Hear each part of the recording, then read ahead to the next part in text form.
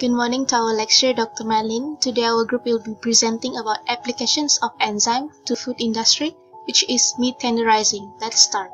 Hi, my name is Nur Amira Akila and I will present the introduction part.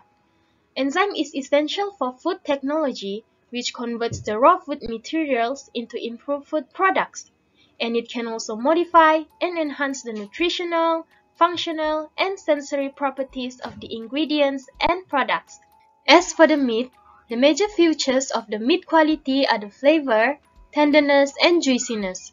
Consumer believe that tenderness is the most important factor in determining the eating satisfaction of beef. They were also willing to pay premium for more tender meat and often reject tough meat because they prefer quality more than quantity. Moreover, proteolytic enzymes has been used for more than 60 years and is one of the most popular methods in enhancing the meat tenderness. And each enzyme added to the meat respond differently to the myofibrilla and connective tissues. And the most commonly used enzymes for meat tenderizing are papain, ficin, and bromelain. My name is Cresselia Ginsos and I'll be presenting more on the papain as a meat tenderizer. Papain is a proteolytic enzyme under the class of cysteine proteinase acquired from the latex of Carica papaya. Special properties of papain includes its broad range of enzyme specificity that give rise to numerous possible cleavage patterns during proteolysis, and therefore exhibit endopeptidase, amidase, and esterase activity.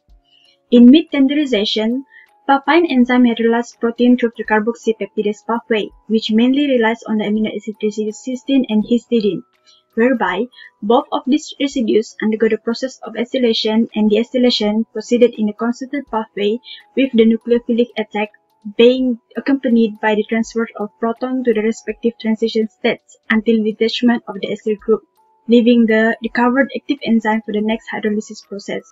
Basically, papain acts on myofibrilla in muscle and collagen, has an optimum activity at 65 degrees Celsius and pH in between 6 to 7. Enzyme inactivation occurs by oxidizing the active site but can be recovered by the addition of thiol reagent. My name is Eva Gracia Luis and I will be presenting about the ficin enzyme which is commonly used in meat tenderization. Ficin can be obtained from the latex of Ficus glabrata, Ficus laurifolia, Ficus carica, which are all basically fig tree.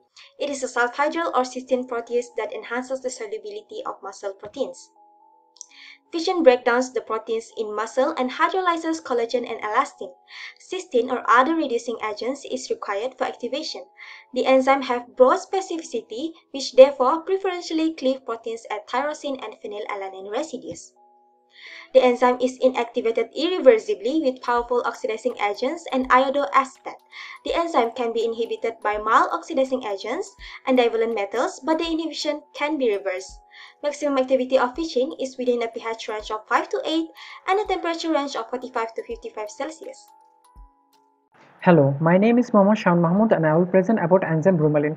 Bromelain is a mixture of enzyme isolated from pineapple. It is odorless with irritating taste, insoluble in water, insoluble in organic solvent like ether, chloroform and alcohol.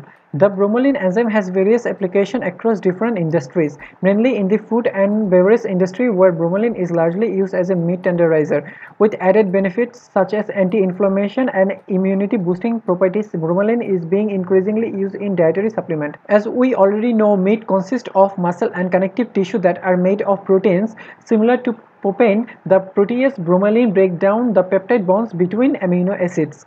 This makes the meat softer because it breaks down collagen up to 40% before attacking the myofibril of the protein. Bromelain has a lower temperature of inactivation and slightly different mode of operation. That's all from me. Thank you. Hi, I'm Cassandra. will be presenting about the advantages. First, it can increase the value or quality of the meat.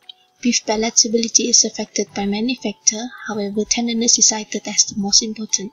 After that, enzymes which are derived from plants are safe to be consumed or used. This can be approved by the USD Food Safety Inspection Service as generally recognized as safe for improving tenderness of meat.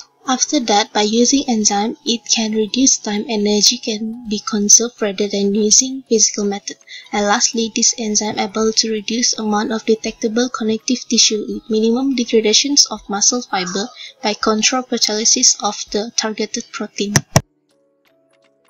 My name is Ding Xueqi and I'm going to present the challenges of using meat tenderizing enzymes.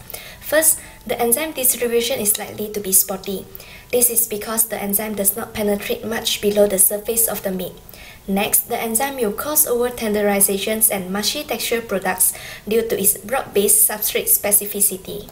Besides, some people may develop allergic reactions due to the use of proteolytic enzymes in meat tenderizations. Lastly, high concentration of some microbial proteases can also affect the sensory properties of meat and generate bitterness in treated meat. To conclude, it is recommended to use plant proteases to improve tenderization of meat because of the safety and standard problems. Thank you.